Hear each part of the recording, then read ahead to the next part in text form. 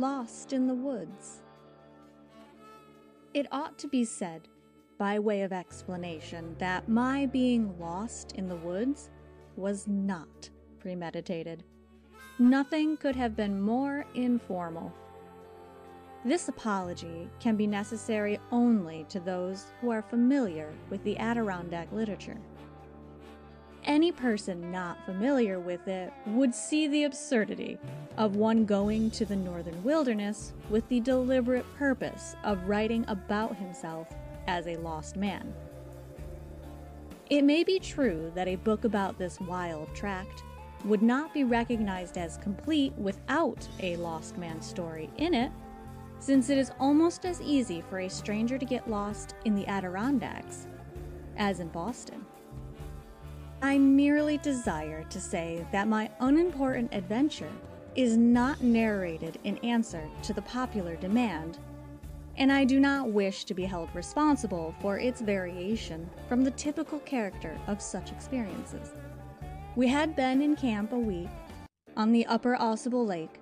This is a gem, emerald or turquoise as the light changes, set in the virgin forest. It is not a large body of water, is irregular in form, and about a mile and a half in length. But in the sweep of its wooded shores and the lovely contour of the lofty mountains that guard it, the lake is probably the most charming in America. Why the young ladies and gentlemen who camp there occasionally vex the days and nights with hooting and singing sentimental songs is a mystery even to the laughing loon. I left my companions there one Saturday morning to return to Keene Valley, intending to fish down the Ausable River. The upper lake discharges itself into the lower by a brook which winds through a mile and a half of swamp and woods. Out of the north end of the lower lake, which is a huge sink in the mountains, and mirrors the savage precipices. The Ausable breaks its rocky barriers and flows through a wild gorge several miles to the valley below. Between the lower lake and the settlements is an extensive forest, traversed by a cart path, admirably constructed of loose stones, roots of trees, decayed logs, and slippery rocks and mud the gorge of the river forms its western boundary. I followed this caricature of a road a mile or more, then gave my luggage to the guide to carry home, and struck off through the forest, by compass, to the river. I promised myself an exciting scramble down this little frequented canyon and a creel full of trout. There was no difficulty in finding the river, or in descending the steep precipice to its bed. Getting into a scrape is usually the easiest part of it. The river is strewn with boulders, big and little, through which the amber water rushes with an unceasing, thunderous roar, now plunging down in white falls, then swirling round in dark pools. The day, already past meridian, was delightful. At least, the blue strip of it I could see overhead. Better pools and rapids for trout never were, I thought, as I concealed myself behind a boulder and made the first cast. There is nothing like the thrill of expectation over the first throw in unfamiliar waters. Fishing is like gambling, in that failure only excites hope of a fortunate throw next time. There was no rise to the leader on the first cast, nor on the 21st, and I cautiously worked my way downstream, throwing right and left. When I had gone half a mile, my opinion of the character of the pools was unchanged. Never were there such places for trout, but the trout were out of their places. Perhaps they didn't care for the fly some trout seem to be so unsophisticated as to prefer the worm. I replaced the fly with a baited hook. The worm squirmed. The waters rushed and roared. A cloud sailed across the blue. No trout rose to the lonesome opportunity. There is a certain companionship in the presence of trout, especially when you can feel them flopping in your fish basket. But it became evident that there were no trout in this wilderness, and a sense of isolation for the first time came over me. There was no living thing near. The river had by this time entered a deeper gorge. Walls of rock row perpendicularly on either side. Picturesque rocks, painted many colors by the oxide of iron. It was not possible to climb out of the gorge. It was impossible to find a way by the side of the river, and getting down the bed, over the falls, and through the plumes was not easy and consumed time. Was that thunder? Very likely. But thunder showers are always brewing in these mountain fortresses, and it did not occur to me that there was anything personal in it. Very soon, however, the hole in the sky closed in, and the rain dashed down. It seemed a providential time to eat my luncheon and I took shelter under a scraggly pine that had rooted itself in the edge of the rocky slope. The shower soon passed, and I continued my journey, creeping over the slippery rocks and continuing to show my confidence in the unresponsive trout. The way grew wilder and more gruesome. The thunder began again, rolling along over the tops of the mountains and reverberating in sharp concussions in the gorge. The lightning also darted down into the darkening passage, and then the rain. Every enlightened being, even if he is in a fisherman's dress of shirt and pantaloons, hates to get wet. And I ignominiously crept under the edge of a sloping boulder. It was all very well at first, until streams of water began to crawl along the face of the rock and trickle down the back of my neck. This was refined misery, unheroic and humiliating, as suffering always is when unaccompanied by resignation. A longer time than I knew was consumed in this, and repeated efforts to wait for the slackening and renewing storm to pass away. In the intervals of calm, I still fished, and even descended to what a sportsman considers incredible baseness. I put a sinker on my line. It is the practice of the country folk, whose only object is to get fish, to use a good deal of bait, sink the hook to the bottom of the pools, and wait the slow appetite of the summer trout. I tried this also I might as well have fished in a pork barrel. It is true that in one deep, black, round pool, I lured a small trout from the bottom and deposited him in the creel, but it was an accident.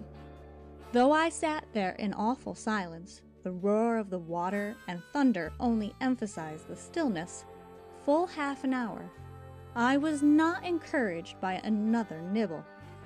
Hope, however, did not die. I always expected to find the trout in the next flume, and so I toiled slowly on, unconscious of the passing time. At each turn of the stream, I expected to see the end, and at each turn I saw a long, narrow stretch of rocks and foaming water. Climbing out of the ravine was, in most places, simply impossible and I began to look with interest for a slide, where bushes rooted in the scant earth would enable me to scale the precipice. I did not doubt that I was nearly through the gorge. I could at length see the huge form of the giant of the valley, scarred with avalanches at the end of the vista. And it seemed not far off, but it kept its distance as only a mountain can while I stumbled and slid down the rocky way. The rain had now set in with persistence, and suddenly I became aware that it was growing dark. And I said to myself, if you don't wish to spend the night in this horrible chasm, you'd better escape speedily. Fortunately, I reached a place where the face of the precipice was bush grown, and with considerable labor scrambled up it, having no doubt that I was within half a mile, perhaps within a few rods, of the house above the entrance of the gorge, and at that, in any event, I should fall into the cart path in a few minutes. I struck boldly into the forest, congratulating myself on having escaped out of the river. So sure was I of my whereabouts that I did not note the bend of the river, nor look at my compass. The one trout in my basket was no burden, and I stepped lightly out. The forest was of hardwood and open except for a thick undergrowth of moose bush. It was raining. In fact, it had been raining more or less for a month, and the woods were soaked. This moose bush is most annoying stuff to travel through in a rain, for the broad leaves slap one in the face and sop him with wet. The way grew every moment more dingy. The heavy clouds above the thick foliage brought night on prematurely. It was decidedly premature to a nearsighted man whose glasses the rain rendered useless. Such a person ought to be at home early. On leaving the riverbank, I had borne to the left, so as to be sure to strike either the clearing or the road, and not wander off into the measureless forest. I confidently pursued this course and went gaily on by the left flank. That I did not come to any opening or path only showed that I had slightly mistaken the distance. I was going in the right direction. I was so certain of this that I quickened my pace and got up with alacrity every time I stumbled down amid the slippery leaves and catching roots, and hurried on. I kept to the left.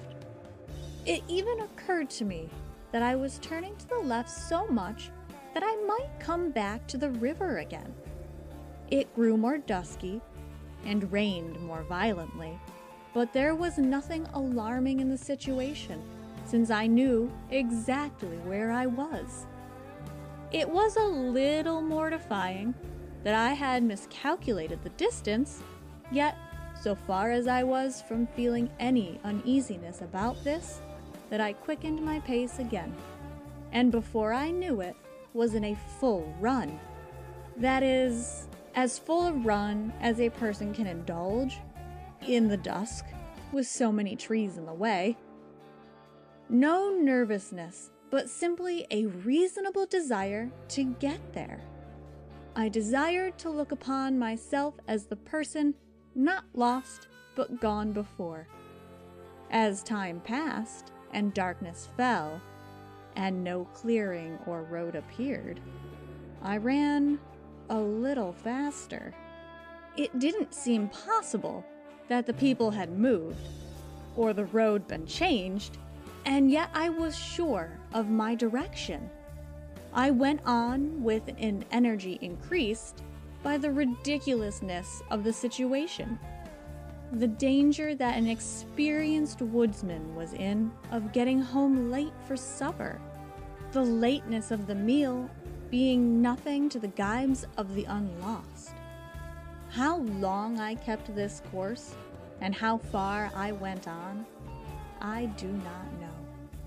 But suddenly, I stumbled against an ill placed tree and sat down on the soaked ground, a trifle out of breath. It then occurred to me that I had better verify my course by the compass. There was scarcely light enough to distinguish the black end of the needle. To my amazement, the compass, which was made near Greenwich, was wrong. Allowing for the natural variation of the needle, it was absurdly wrong. it made out that I was going south when I was going north. It intimated that, instead of turning to the left, I had been making a circuit to the right. According to the compass, the Lord only knew where I was. The inclination of persons in the woods to travel in a circle is unexplained.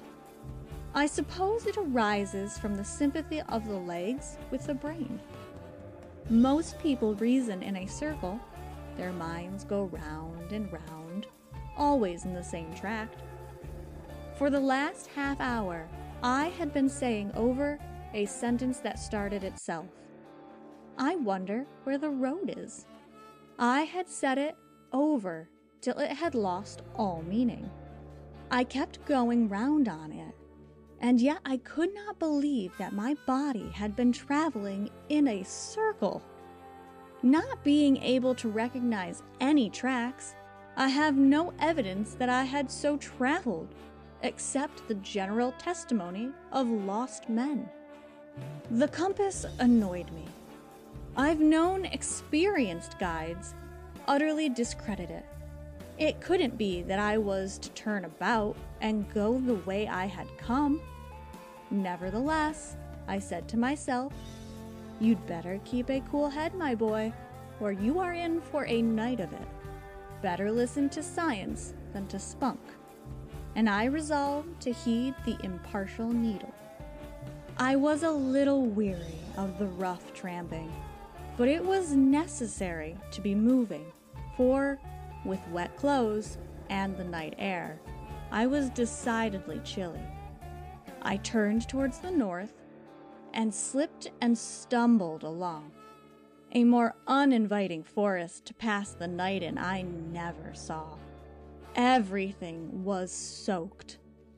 If I became exhausted, it would be necessary to build a fire, and as I walked on, I couldn't find a dry bit of wood. Even if a little punk were discovered in a rotten log, I had no hatchet to cut fuel. I thought it all over calmly. I had the usual three matches in my pocket. I knew exactly what would happen if I tried to build a fire. The first match would prove to be wet. The second match, when struck, would shine and smell and fizz a little, and then go out. There would be only one match left. Death would ensue if it failed. I should get close to the log, crawl under my hat, strike the match, see it catch, flicker, and almost go out. The reader, painfully excited by this time, blaze up, nearly expire, and finally fire the punk, thank God. And I said to myself, the public don't want any more of this thing. It is played out. Either have a box of matches or let the first one catch fire. In this gloomy mood, I plunged on. The prospect was cheerless for apart from the comfort that a fire would give, it is necessary at night to keep off the wild beasts. I fancied I could hear the tread of the stealthy brutes following their prey. But there was one source of profound satisfaction. The catamount had been killed. Mr. Colvin, the triangulating surveyor of the Adirondacks, killed him in the last official report to the state. Whether he dispatched him with a theodolite or a barometer does not matter. He is officially dead, and none of the travelers can kill him any more. Yet he has served them a good turn. I knew that catamount well. One night, when we lay in the bogs of the South Beaver Meadow, under a canopy of mosquitoes, the serene midnight was parted by a wild and human like cry from a neighboring mountain. That's a cat, said the guide. I felt in a moment that it was the voice of modern culture. Modern culture, says Mr. Joseph Cook, in a most impressive period. Modern culture is a child crying in the wilderness, and with no voice but a cry. That describes the catamount exactly.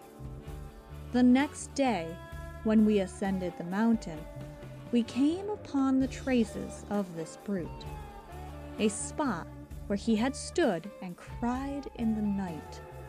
And I confess that my hair rose with the consciousness of his recent presence, as it is said to do when a spirit passes by. Whatever consolation the absence of Catamount in a dark, drenched, and howling wilderness can impart, that I experienced. But I thought what a satire upon my present condition was modern culture. With its plain thinking and high living, it was impossible to get much satisfaction out of the real and the ideal, the me and the not me. At this time, what impressed me most was the absurdity of my position looked at in the light of modern civilization and all my advantages and acquirements. It seemed pitiful that society could do absolutely nothing for me. It was, in fact, humiliating to reflect that it would now be profitable to exchange all my possessions for the wood's instinct of the most unlettered guide. I began to doubt the value of the culture that blunts the natural instincts. It began to be a question whether I could hold out to walk all night, for I must travel or perish. And now I imagine that a specter was walking by my side. This was famine.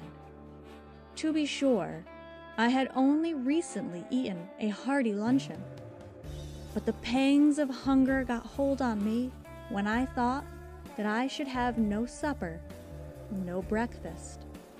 And as the procession of unattainable meals stretched before me, I grew hungrier and hungrier.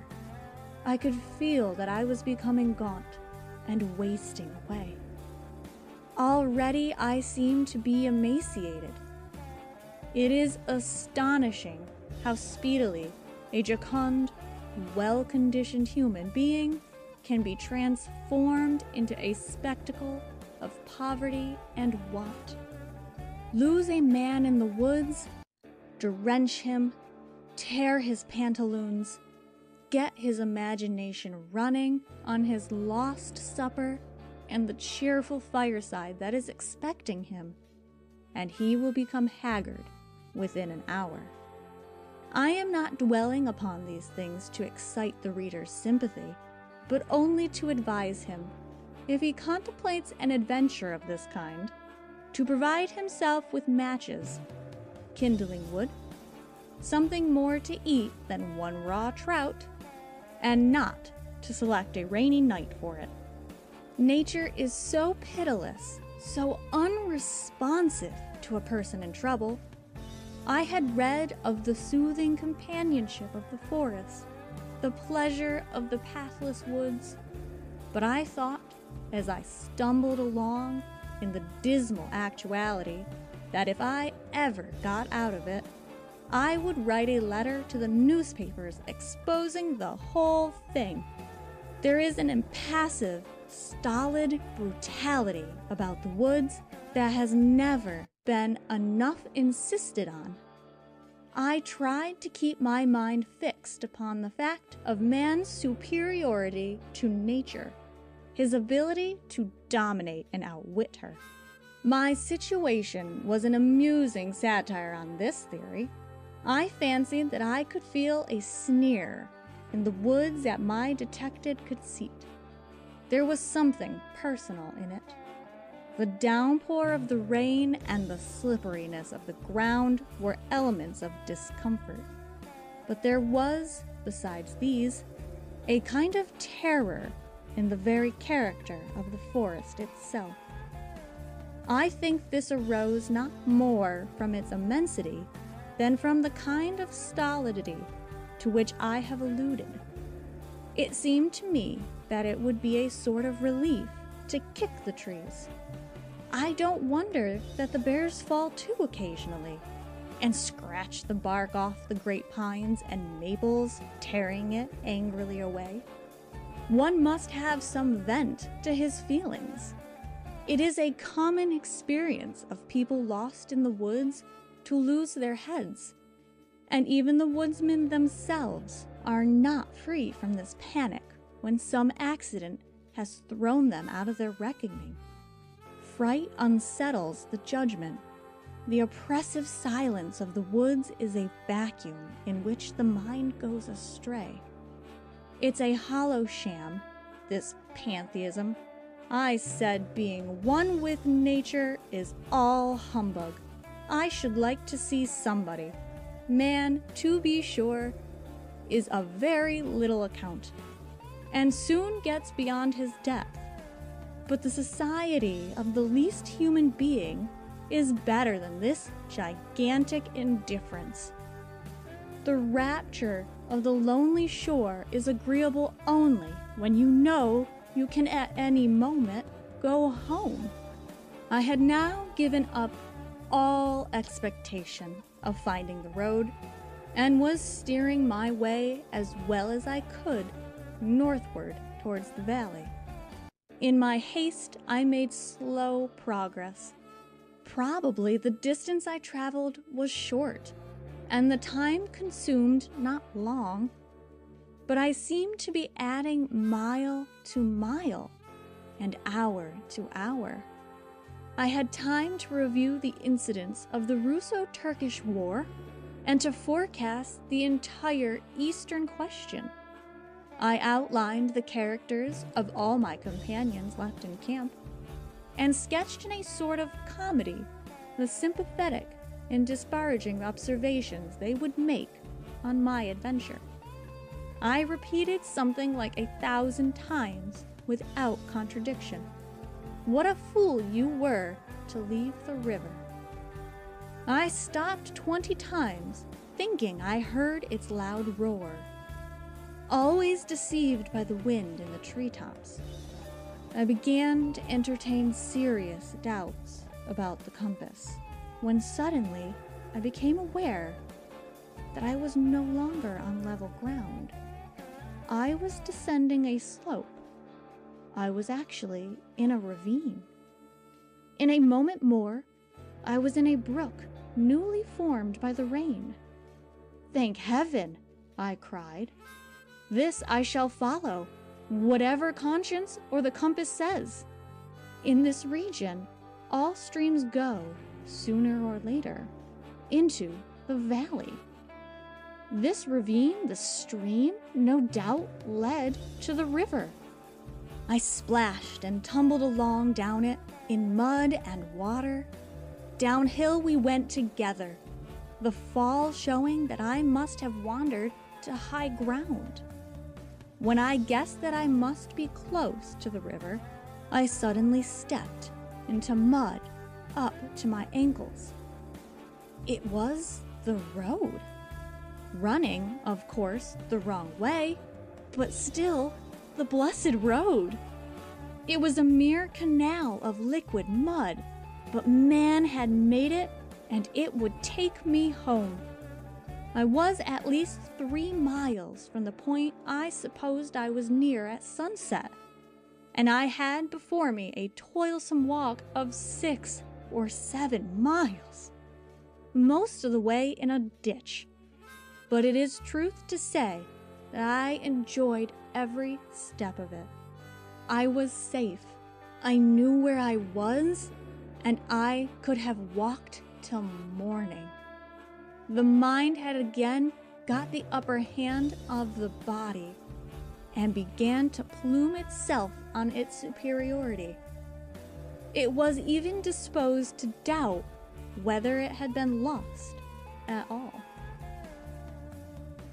End of chapter 2.